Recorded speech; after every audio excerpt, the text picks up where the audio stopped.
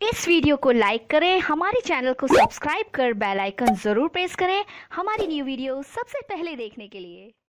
ઉમરલામાં police દ્વારા ગામમાં food patrolling કરી સઘન ચેકિંગ હાથ ધર્યું હતું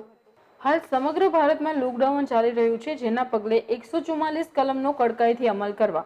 ઉમરલાના પીએસઆઈ વલવી તેમજ પોલીસ સ્ટાફ દ્વારા ઉમરલા ચાર રસ્તાથી મેઇન બજારથી પોલીસ સ્ટેશન સુધી ફૂલ પેટ્રોલિંગ કરી સઘન ચેકિંગ હાથ ધરવામાં આવ્યું હતું તેમજ બેંકોમાં જાતે પીએસઆઈ વલવી તેમજ પોલીસ સ્ટાફ સાથે રહી સોશિયલ ડિસ્ટન્સ રાખવાની પબ્લિકને સમજ આપી હતી. તેમજ બેંક સ્ટાફને પણ ઝડપી કામગીરી કરવા માટેની સૂચના આપી હતી. પાણી તેમજ માસ્કની વ્યવસ્થા ઉમરલા પોલીસ દ્વારા કરાવી લોકોને મદદ કરી હતી.